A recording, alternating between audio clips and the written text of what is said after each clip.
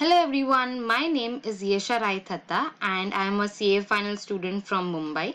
Today I am going to take up the topic moneyness of options uh, which is in paper 2 SFM. I specifically chose this topic because uh, the moneyness of an option is normally a part of the question which um, you know help us while reading the question and obviously if this small tiny uh, concept if we don't understand then we might not be able to interpret the question that well so let's begin before we begin, uh, I want all of us to remember this one basic principle that everything in moneyness is based on the relation between the strike price and the current market price. So I think this makes it very obvious that in case there's a change in the strike price or the current market price or rather both, then there will be a change in the moneyness of an option as well. So with that, let's begin with our first topic that is moneyness with respect to call options. In this, there is in the money wherein the current market price is more than the strike price. Then we get to at the money where the current market price is equal to the strike price. Where and at the end we go to out of the money where the current market price is less than the strike price. So with that, uh, I know this sounds a bit confusing. So let's start by you know getting into a diagram let's just let's just assume this is a circle wherein the periphery or the border is the current market price. And then we have three strike prices for each of our situations. Uh, let's start with our current market price being 100 and one of a strike price being 80 in this case if you observe you will see that the current market price is more than the strike price. So in such a situation this option would be called an in the money option uh, going further, if we take the st uh, strike price as 100, so you can also see that's why I've shown it on the periphery that is on the border of the circle. Here the current market price is equal to the strike price. So this is a clear case of at the money.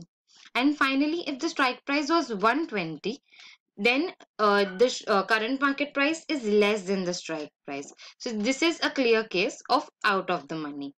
Now to again make more things clear for you all, I will like tell that current market price is a ma market price which is prevailing right now in the market which goes on fluctuation, uh, fluctuating whereas strike price is the price at which we have uh, purchased the option or that is at which price we would want to exercise the option. Okay? Now going further we will do with uh, moneyness with respect to put options. Before we get into this, I want you all to remember our basic principle that call and put are opposites of each other. So as you see, when if you remember our basics, call moves upward, whereas put moves downward. Due to this principle, they are opposite of each other. Now this is going to help us while even understanding the moneyness of put options. Again, there is in the money with respect to put options. Here, the current market price is less than the strike price. So, if you remember in call options, the current market price was more than the strike price. Correct. Now, if you go uh, into at the money with respect to put options, the current market price is equal to the strike price which was the same in call options as well. And when you go to out of the money, the current market price is more than the strike price. Let's again see with help of the diagram. It's the same circle which we saw before with the current market price at the border of the circle and three strike prices. Okay, so first we start with a strike uh, current market price being 100 and a strike price being 120. Now here you can see that the current market price is less than the strike price. This is a clear case of in the money. Now if you remember in call options, the in the money situate was situated inside the circle. Whereas in put options, the in the money comes outside the circle. Because call and put ek dusre ka ulta hota hai. They are opposites of each other. Okay. Now we take a strike price as 100 here you can see that the current market price is equal to the strike price. And as you can see, it uh, even the strike price is on the periphery with the current market price. So this is a clear case of at the money. Now it is the same uh, in both the cases that is call and put. Now we can go to the strike price as rupees 80. Here the current market price is more than the strike price and this is a clear case of out of the money.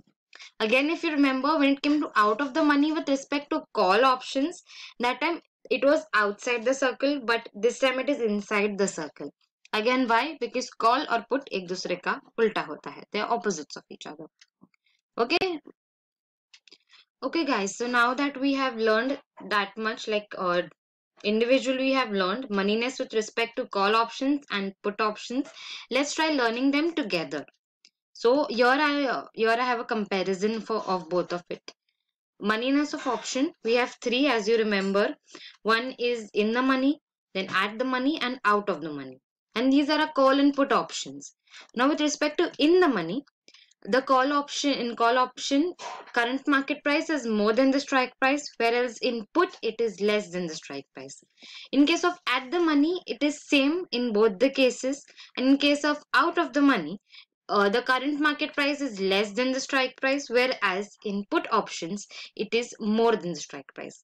So here we can observe that in uh, in the money and out of the money in case of call and put options the uh, strike prices and the relation of the strike price and the current price is different. That is it is opposite of each other. So guys i hope so far this has been fixated in your mind.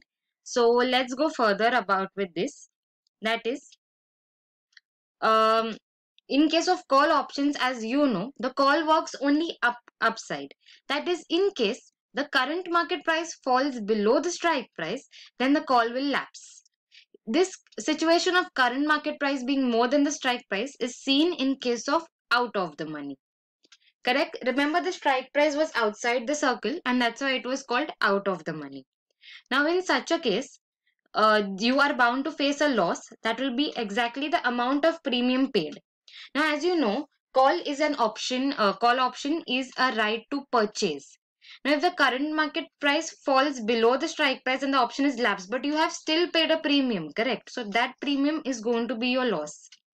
However, if there's a situation of in the money, that is, the current market price is more than the strike price, then the call will be exercised.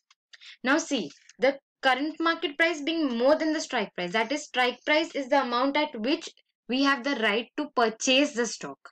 Correct and if the current market price increases मतलब जितना current market price ऊपर जाएगा उतना हमारा profit बढ़ते जाएगा सो if you put it in proper terms we can say that our profit in this case will be limitless so let's let's just summarize this again that is if there's a call option and there is out of the money in a call option then you are bound to make a loss however in case of in the money for call options you are bound to make a profit now let's see the same scenario with respect to put options.